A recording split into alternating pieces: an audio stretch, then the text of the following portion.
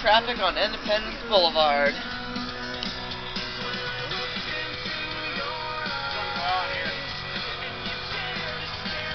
There's an accident up ahead, it looks like.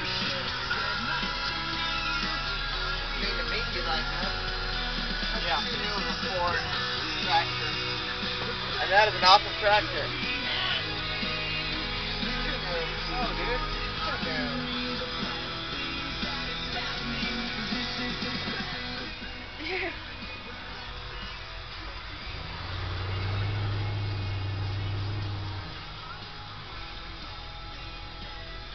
Maybe the guy was smuggling drugs in his truck.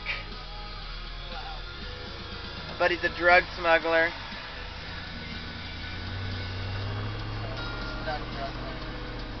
Oh, there goes the drug. Signing off.